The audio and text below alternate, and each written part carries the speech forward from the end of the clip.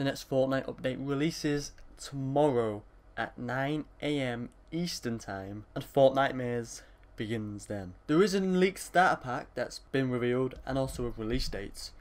So this is it on screen. So obviously with every starter pack, you get a skin, pickaxe, back bling, and also V-Bucks. And according to Lucas the leaker, we should see the starter pack within the next 24 hours, and it's going to cost $4.99.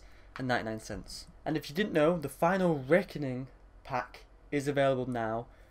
It's £13.99, so £14, and it includes three skins. We have the Katrina outfit, which comes with a back bling, the Willow outfit, which comes with a back bling, a doll, and then we have the Black Light outfit, and that comes with some wings as a back bling. And today, Fortnite tweeted, "Face your fears." Tomorrow, 9 a.m. Eastern time, with this, with this picture they tweeted out, which this outfit should be available tomorrow. This outfit should be available tomorrow when the update releases, which is 1 p.m. UK time as well.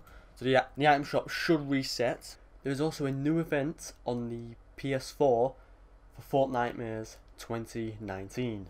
And the start date is Tuesday, tomorrow. 29th of October, 9 in the morning. This is UK time, by the way.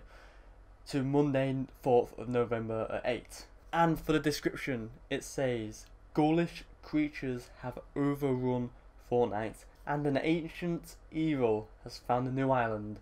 Scored up to survive, it's about to get real. So I can't wait to see what Epic Games have planned for Fortnite Fortnitemares 2019. We'll find out tomorrow. I'll be doing a bunch of videos on it, including Save the World, Battle Royale and Save the World. Uh, so stay tuned for that.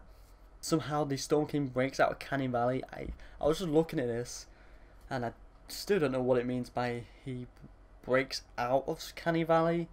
Is that does that mean Twi Twine Peaks or Stonewood and Plankerton?